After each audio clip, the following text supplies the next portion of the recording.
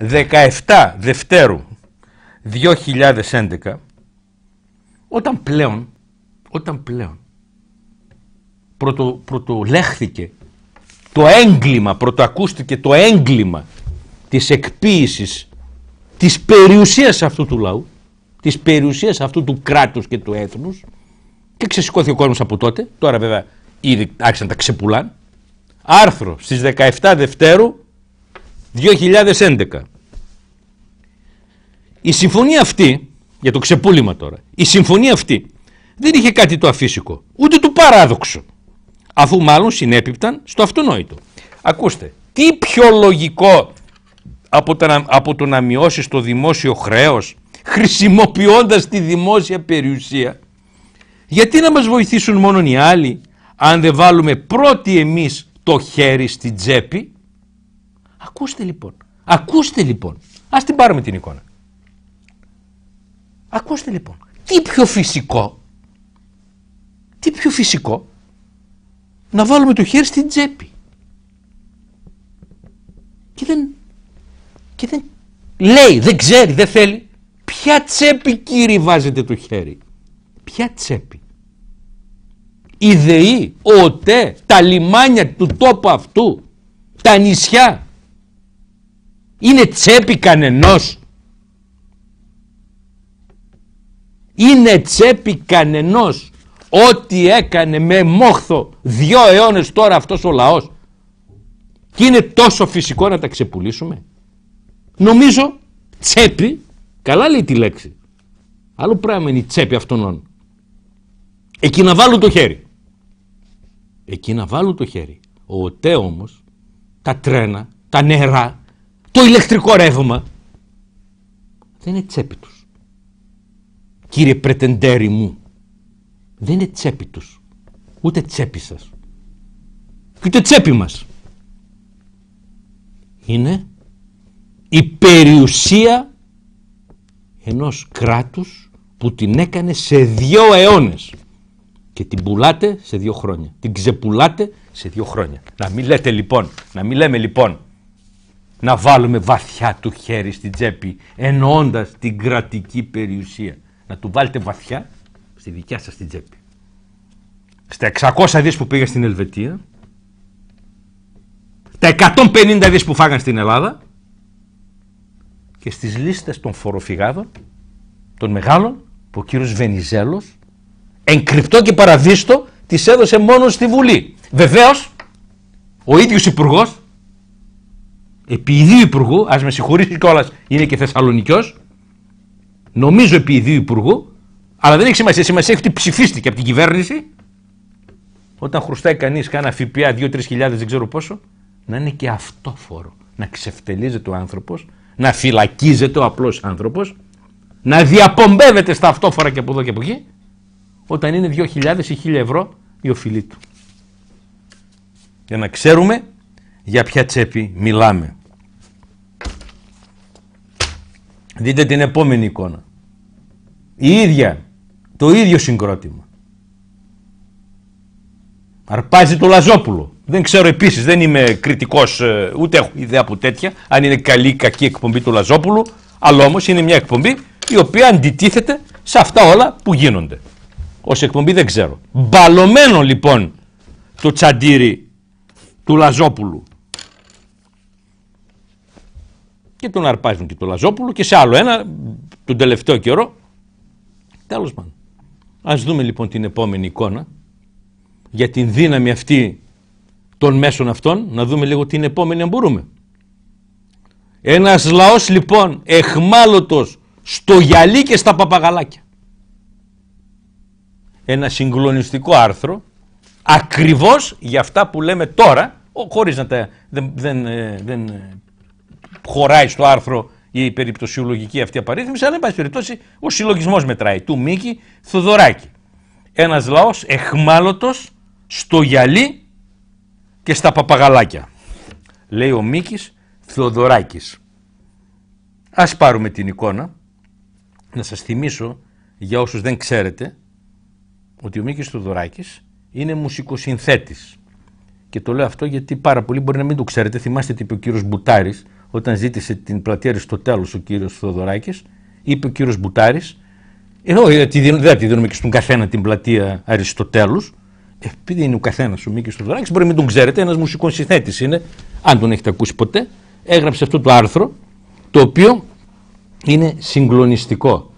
Και επίσης σε εφημερίδα που δεν είναι εχθρική, ας το πω έτσι ήπια, δεν είναι εχθρική στη σημερινή, εν πάση περιπτώσει, στη δημοκρατική παράταξη, στην, ε, στο σοσιαλισμό και στα τέτοια, σε άρθρο το οποίο ίσως και εδώ δεν φαίνεται, για δείτε λίγο, σε άρθρο της, ποιας της τώρα, 27 Νοεμβρίου του 2011, αφού γράφει, ας την πάρουμε την εικόνα, αφού γράφει για το ρόλο κάποιου μέρους του τύπου στον κατεξευτελισμό των ανθρώπων, τελειώνει, προς το τέλος μάλλον, δεν υπήρξε κλάδος που αυτά τα κοράκια, παύλα παπαγαλάκια, να μην κατασπάραξαν. Καθηγητές, γεωργοί, γιατροί, δημόσιοι υπάλληλοι, ναυτικοί, εργάτες, όλους τον καθέναν με τη σειρά του, ρετυρέ τον ανέβαζαν τα χρυσοπληρωμένα παπαγαλάκια, σε, σε λάκους τους έθαβαν. Και θυμάστε αυτό που λέει επιγραμματικά, ποιος κλάδος έκαμε οποιαδήποτε απεργία δίκαιη, άδικη, εύλογη, παράλογη και δεν τον κατεξευτέλισαν τα δελτία των οκτώ συγκεκριμένης προελεύσεως. Και ποιας προελεύσεως; Και ποιας προελεύσεως; Για δείτε. Τι λένε στη μεγάλη διαδήλωση του Ιουνίου. Η μεγάλη οργή. Η μεγάλη οργή. Ας μην το διαβάσουμε ολόκληρο. Ας μην το διαβάσουμε ολόκληρο. Αλλά εν πάση περιπτώσει καταλαβαίνετε ποια είναι η μεγάλη οργή. Κυρίες και κύριοι, σας είπα πριν ότι όποιος απετόλμησε να σηκώσει κεφάλι τον τσακίσανε. Τον γελιοποιή, επιχείρησαν να τον γελιοποιήσουν. Μέχρι εδώ. Μέχρι εδώ. Όλοι αυτοί τους οποίους αναφέραμε είχαν μια σχέση με το θέαμα με το θέαμα. Και θα μπορούσε κάποιος να πει «Ε, δεν είναι τόσο φανερά τα πράγματα, αυτοί όλοι ήταν άνθρωποι του θεάματος και κρίνονται ως ε, θεατρική ε, παραγωγή όπως ο Λαζόπουλος, ως τηλεοπτική όπως ο ένας, ο Παπαδάκης, ο άλλος. Αν δεν είναι έτσι. Αν δεν είναι έτσι, αντί πολλών, για να καταλάβετε τώρα πια να μπούμε ακόμα πιο μέσα στο τι γίνεται σε αυτόν τον τόπο και από ποιους και από ποιους. Αυτοί όλοι ήταν άνθρωποι του θεάματος. Μάλιστα. Υπάρχουν και άνθρωποι της επιστήμης. Όλων των επιστημών, τώρα τελευταία των οικονομικών επιστημών, με αυτά που τέλος πάντων που απασχολούν την κοινή γνώμη. Ένας από τους πολλούς που μιλάει στην τηλεόραση και τον βλέπετε ίσως είναι κάποιος καθηγητής της Αθήνας, ονόματι Βαρουφάκης. Δεν θυμάμαι το μικρό το όνομα, αλλά θα τον βλέπετε, Βαρουφάκης. Νομίζω το λέω με επιφύλαξη και μετά διαγράψτε και μια σειρά. Νομίζω ότι λέει σωστά πράγματα. Νομίζω. Βάζω το νομίζω δεν, δεν είμαι της επιστήμης αυτής της οικονομικής. Νομίζω όμως λέει σωστά πράγματα. Συμπτωματικός αυτά τα σωστά, τα κατά τη γνώμη μου σωστά, τα οποία τα φωνάζει εδώ και δύο χρόνια, είναι εντελώς αντίθετα από αυτά που οδήγησαν την Ελλάδα στην καταστροφή. Εντελώς αντίθετα. Άρα λοιπόν ένας απλός άνθρωπος που δεν ξέρει και πολλά οικονομικά όπως και ο Μιλών, μπορεί να σκεφτεί ότι αν ακούγαν, αν ακολουθεί το μια άλλη πολιτική, ίσως του Βαρουφάκη, ίσως οποιοδήποτε άλλο, τα πράγματα να ήταν καλύτερα. Αλλά αυτό είναι, σας λέω, το επιστημονικό κομμάτι. Θα ακούσετε τώρα κάτι που δεν θα πιστεύετε στα αυτιά σας. Τον Βαρουφάκη θα περιμένετε να τον αρπάξει καμιά επιστημονική ομάδα άλλη, εντόνως ή όχι, ή να συμφωνήσει, να διαφωνήσει κάθετα μαζί του. Ποιος τον αρπάζει, τον Βαρουφάκη, τον καθηγητή του Πανεπιστημίου της Οικονομίας; Ποιος τον αρπάζει. Τα νέα, τα νέα δια της τηλεοπτικής κριτικής. Και τι γράφουν, τι γράφουν. Ακούστε το απίστευτο. Αφού ηρωνεύεται, ε, ας δούμε όσο φαίνεται. Ναι, δεν φαίνεται. Χαρούμενο ξύπνημα λοιπόν χαρούμενο ξύπνημα, τηλεκριτική των νέων. Για να δούμε τώρα ποιο είναι το χαρούμενο ξύπνημα. Αφού εξευτελίζει πρώτα έναν άλλον, δεν, θα το περάσουμε αυτό, έναν, τον αυτιά, έναν αυτιά στο άλτερ που είναι νομίζω στο άλτερ το πρωί. Το περνάμε όμως αυτό. Και μετά αρχίζει η κατρακύλα, αφού λοιπόν καθιβρίσαμε. Και μετά αρχίζει η κατρακύλα. Ποια είναι η κατρακύλα; Ο Μαριάς, ο Μαριάς είναι επίσης ένας άλλος καθηγητής, αμφισβητεί τα στοιχεία με βάση τα οποία υπολογίστηκε το ελληνικό χρέος. Είναι κατρακύλα λοιπόν, επιστημονική τώρα, η τηλεκριτικός των νέων. Είναι κατρακύλα αυτό που δύο μέρες αργότερα ήρθαν και το είπαν τα μέλη της Επιτροπής αυτής της στατιστικής. Ότι μας βάλαν να πούμε ψέματα. Μας βάλαν να πούμε ψέματα για να βάλουν τη χώρα στο δούνου του. Αυτή, αυτό το λέει ένας καθηγητής πανεπιστημίου, το σχολιάζει, το λέει και αυτό είναι η κατρακύλα. Αυτό δεν είναι το τρομερό. Λοιπόν, για ακούστε τώρα. Στο Μέγκα καθηγητής, ε, συγγνώμη, καθηγητές οικονομολόγοι, ο ιδεολόγος ενός είδους εθνικής μπλόφας κατά Ευρωπαίων, ο κύριος Βαρουφάκης και ο κύριος Φιλίππου, εξηγούν τι σημαίνει χρεοκοπία. Κινδυνεύουν οι καταθέσεις. Όχι. Εγγυημένες. Άρα δεν χρεοκοπούμε. Μάλιστα. Και οι απλοί πολίτες τι κάνουν, παρακολουθούν τους Γερμανούς και μόλις αντιληφθούν ότι ετοιμάζονται να την κάνουν από το ευρώ, τότε καταλαμβάνονται από πανικό.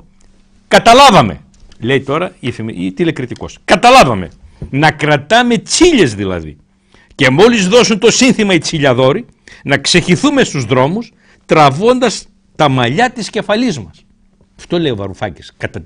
Να ξεχυθούμε στους δρόμους και να τραβάμε τα μαλλιά μας. Κρατήσαμε, σας παρακαλώ προσέξτε λίγο, κρατήσαμε από όλο αυτό το αστείο του καθηγητή Βαρουφάκη που είπε ότι διάβαζε τους ρυθμούς ανάπτυξης των χωρών παγκοσμίως και, ήταν γύρω στο 5%. Κρατήσαμε από όλο αυτό το αστείο που είπε ο Βαρουφάκης. Προσέξτε λοιπόν σας παρακαλώ. Πλέον, αν υπήρχε και η παραμικρή σκέψη σας, ότι ξέρεις κρίνουν συναδέλφους τους, τηλεοπτικούς αστέρες, ξέρω εγώ τι το ένα τ' άλλο. Εδώ αρπάζουν τον καθηγητή της οικονομίας και του λένε αστείο, του λένε ότι μας βάζει να κρατάμε τσίλια στους δρόμους και να τραβάμε τα μαλλιά μας, η τηλεκριτική των νέων. Και πού τελειώνει η τηλεκριτική, γιατί τόσο ενόχλησε ο Βαρουφάκης. Στον τόπο αυτόν ταυτίσαμε την ενημερωτική τηλεόραση με την τρομολαγνία εδώ και χρόνια. Χωρίς καημό και δάκρυ, αναστεναγμό ή αναστεναγμό, πληροφόρηση του πολίτη δεν γίνεται. Δηλαδή αυτό που ενοχλεί είναι του δάκρυ. Πώς το λέει εδώ, ο αναστεναγμός. Προφανέστατα λοιπόν, προφανέστατα λοιπόν, οι άνθρωποι με το κομμένο ηλεκτρικό ρεύμα, οι άρρωστοι που δεν μπορούν να πάνε στο νοσοκομείο, τα παιδιά που πέφτουν στο σχολείο λιπόθυμα, όλοι αυτοί πρέπει να χαχανίζουν μέρα νύχτα, πρέπει να χαχανίζουν για να δείχνουν την ευτυχία του συστήματος. Τη σωτηρία στο Διεθνές Νομισματικό Ταμείο. Και αν βρεθεί και κανένας. Εδώ ήταν ο Βαρουφάκης. Και πει το αντίθετο, αυτός πρέπει να καταξευτελιστεί και να λέμε τα, ο αστείος, πώς σας το είπα πριν, ο αστείος ο Βαρουφάκης. Άρπαξαν τον Βαρουφάκη. Να μπούμε τώρα στα χειρότερα. Να μπούμε τώρα στα χειρότερα. Τον Γιαναρά τον ξέρετε. Ένας διανοητής πρώτης γραμμής με τον οποίο μπορεί κανείς να συμφωνεί απολύτως, να συμφωνεί εν μέρη, όπως γίνεται με κάθε άνθρωπο που έχει δημόσιο λόγο. Αν δεν φτάνει να συμφωνείς ή να διαφωνείς με τον Γιαννάρα και θα δείτε τώρα το απίστευτο. Και μάλιστα για να καταλάβετε ότι όσο μπορούμε, αντικειμενικά μιλάμε εδώ. Πρώτος εγώ διάβασα του Κυριακάτικου του Γεναρά στην καθημερινή, την χθεσινή, με το οποίο πλήρως από αρχή μέχρι τέλους διαφωνώ.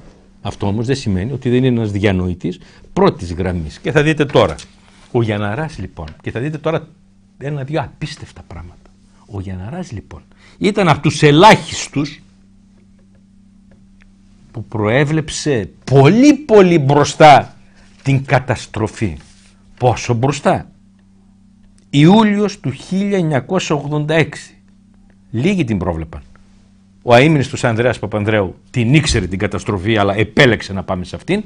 Παρένθεση, θα θυμάστε που είπε τότε ή το χρέος θα βάλει ή η Ελλάδα